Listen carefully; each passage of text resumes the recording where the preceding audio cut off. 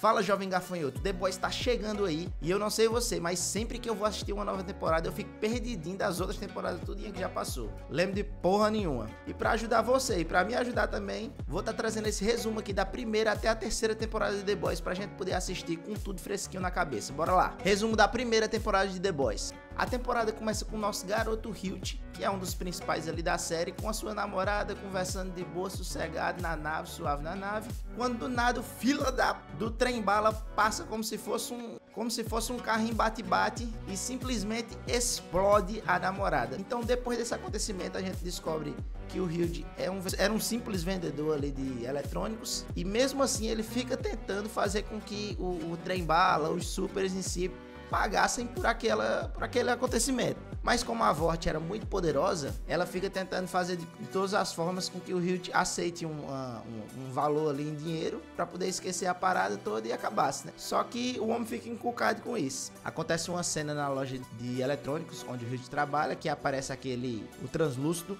que é o cara que fica invisível do set, né? Por algum motivo eles tretam lá, que eu não lembro exatamente qual. Então eles acabam tretando lá e o Butcher aparece também. Então treta o Hilt, o Butcher e o Translúcido. Aí por incrível que pareça, eles conseguem derrotar o Translúcido, que era forte pra caralho. O cara pensa que não, mas o, o, o infeliz era era invisível e era super forte. Complicado, viu, de enfrentar, mas os caras conseguem, cara conseguem abater lá dando um, um, choque tá? da pele dele. O choque era era meio que o ponto fraco, né? Então dá certo ele eles conseguem nocautear ele e prender o translúcido. Aí eles prendem o translúcido naquela gaiola, que numa gaiola que tá toda eletrizada, por isso que ele não consegue sair, né? E enfim, eles conseguem acabar matando o translúcido. E basicamente aí a gente descobre que o Butch é um psicopata que quer matar ou então quer fuder com todos os supers, porque ele não gosta um pouquinho do Homelander, que ele acha nessa época aí que o Homelander tinha, sei lá, dado um sumiço na mulher dele, a Becca. E então também a gente conhece o francês, que é o francês lá, psicopata que gosta de arma, o Leitinho, que é um ex-agente aí, e também conhece a Kimiko, que é uma super que o francês salvou e que também acaba se juntando com os The Boys. Né? Depois disso, a Starlight, que é a Luz Estrela, ela entra pros sete depois que o Translúcido morre e ela entra no começo na inocência, né? Achando que é, tá entrando na Liga da Justiça. em pouco tempo ela já descobre que os cabas são pau no cu e fica puta com os cabos e já quer lascar com os sete também. Então ela conhece o Hilt e tal, aí começa a se entrosar e acaba que eles dois meio que se combinam de lascar com a VOT, né? Ela entendeu que os cabos são do filho de Kenga. Aí nesse embrulho eles descobrem que os supers meio que foram criados pela VOT com o tal do composto V. Nesse meio tempo também a gente vê os pau no cu dos sete meio que lidando com questões em si. A gente, a gente vê que o, que o Homelander finge ser um super-herói, mas é um psicopata. A gente vê o Trem Bala, que era viciado em composto V. A gente vê a Rainha May, que apesar de estar tá no meio ali dos pau no cu, ela era menos pau no cuzinho assim, né? Eu ainda queria não ser. E no final da temporada, basicamente culmina com umas batalhas pesadas. A negada descobrindo que o composto V era o que dava o poder aos supers e que tinha sido a VOT quem tinha criado isso. E por fim, o Butcher descobre que a esposa dele, a Becca, que ele achava que tinha, o Lender tinha dado sumiço nela, na verdade estava viva e tinha um filho do Homelander. Que aí a gente Puta que pariu, esse é um final de, de, primeira temporada. Resumo da segunda temporada de The Boys. Ela começa com a negada dos The Boys fugindo, porque a VOT tinha meio que incriminado eles. E então aparece a Tempesta, que foi uma personagem bastante interessante. Né? Ela parecia ser uma, uma fodinha que meio que até batia de frente ali com o próprio Homeland. Ela chegou a aguentar a rajada ali de laser, né, que o Homelander solta dos olhos. Aguentou nos peitos ali, segurou, então a bicha era forte. E ela era interessante assim no sentido de manipulação. A bicha era rapariga, era manipuladora pra caralho. Mas aí com pouco tempo a gente já descobre que, na verdade, ela era uma ex-nazista. Bicha era meio velha, mas era uma velha enxuta. Era uma ex-nazista que tava ali ajudando a Vorte a, a tentar conseguir um controle maior sobre a população e tava também fazendo uma, realizando ali uns experimentos periculosos com composto B ali em humanos para criar um super exército de soldados e ter o Homelander ali como líder máximo, né? Que ela via nele o, o auge do supremacista branco.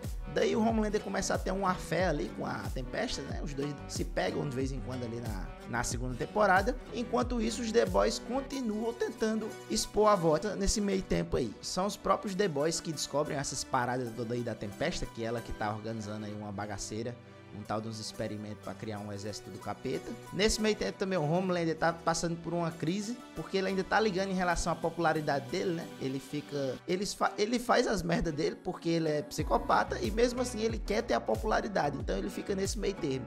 Não sei se eu faço exatamente o que eu quero e como é que eu lido isso com a popularidade que eu posso perder, tá ligado? Ele ainda fica meio um, um. Ainda tá um pouco controlado, né? Nessa temporada. Fica também meio puto com o filho dele, que é um pouquinho rebelde, não obedece. Aí depois dessa bagaceira toda, a temporada termina num confronto da peste com a tempesta e a negada dos The Boys. Que o cabo disse, meu amigo.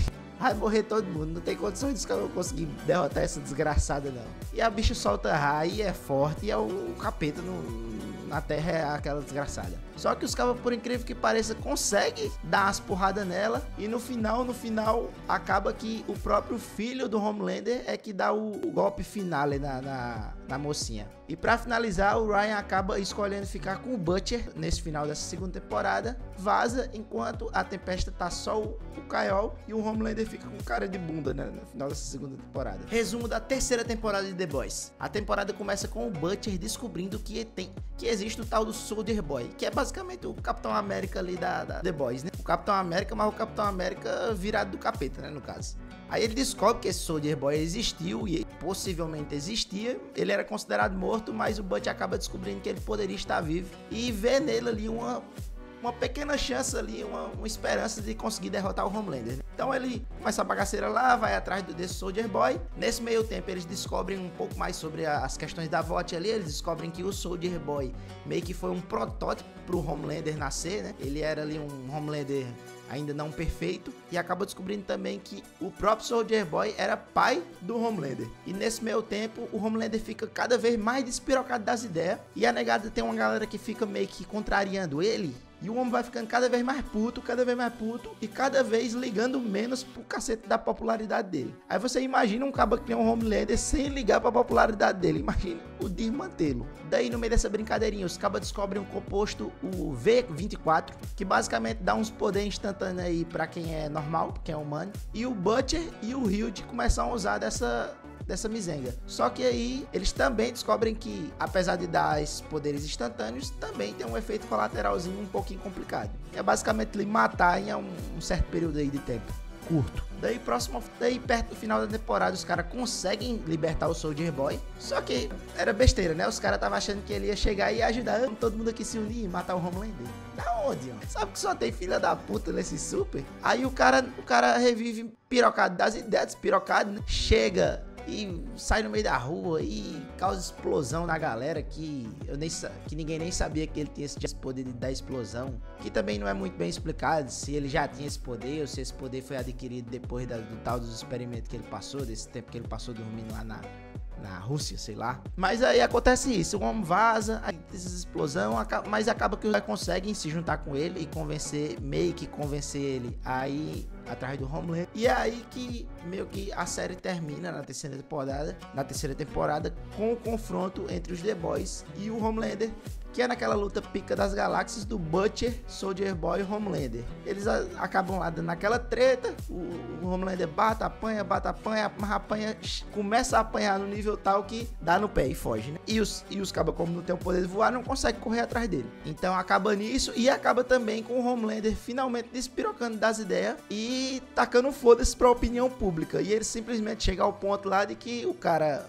tem um manifestante que tá se manifestando contra ele, ele simplesmente solta um rajadão no cabo e espoca o cabo. E acabou. -se. E daí, do nada, metade da população acha legal o cara ter focado o, o, cara lá que era um manifestante contra. Qualquer semelhança com a realidade é pura coincidência. Você viu que a gente tá começando aí com esses vídeos longos, né? Então deixa um comentário aí, dá um engajamento aí para ajudar o nosso canal aqui a crescer e eu poder finalmente ganhar alguma coisa com esse canal aqui, porque até agora é só trabalho, ligado?